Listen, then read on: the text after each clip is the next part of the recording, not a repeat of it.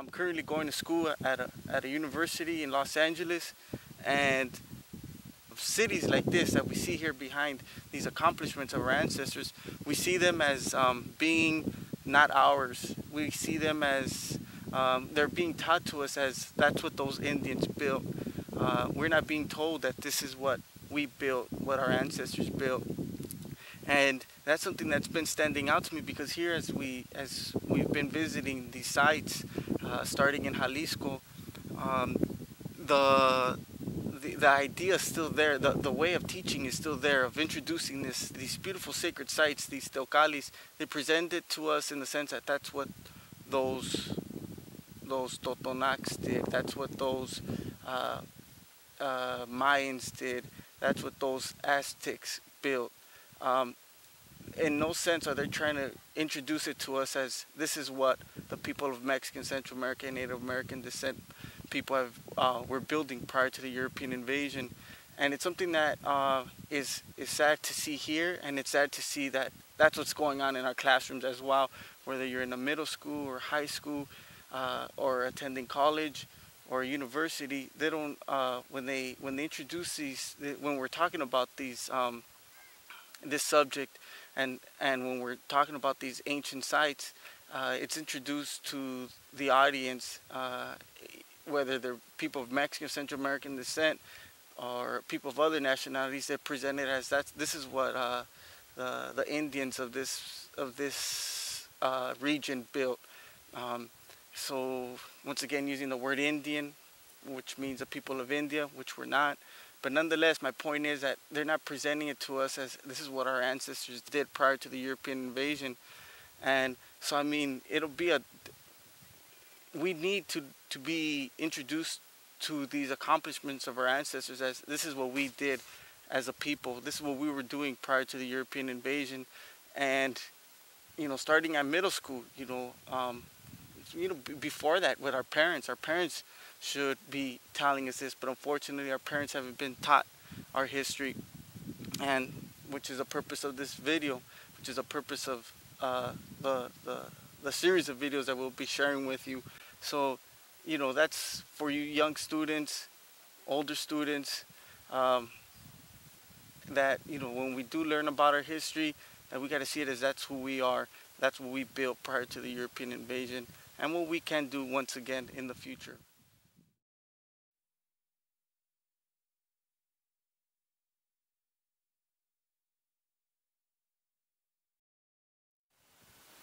Seeing this in a book is totally different than visiting it.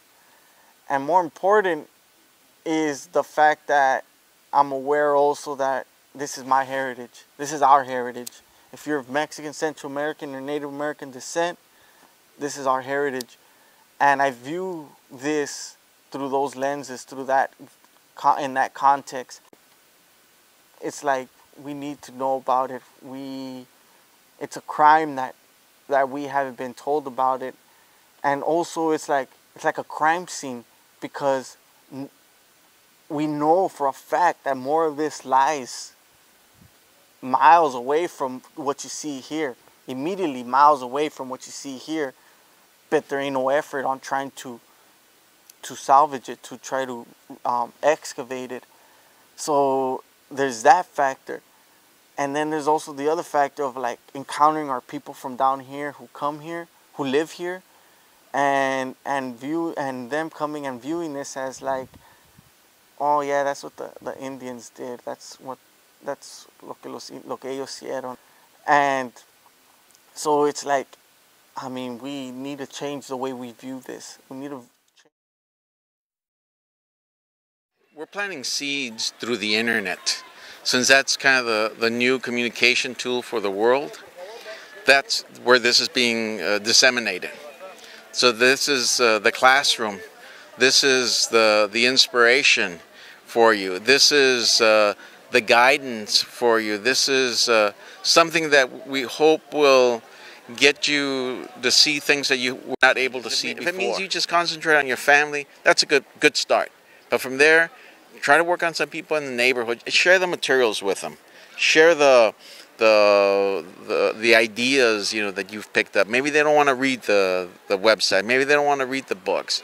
Show them some videos. Okay, invite them over to your house uh, uh, for a party. You know, a, a, a party of knowledge to discuss identity, why we're not Hispanic or Latino, to discuss the basic you know, heritage of our people, going back to the Olmecs and talking about the Mayas and talking about the Mexica and talking about Teotihuacan, and then talking about the genocide that killed 95% of our people and how we're 5% that have survived. Take some actions, intelligent actions, like being part of the work that we're doing here with Mexica Movement.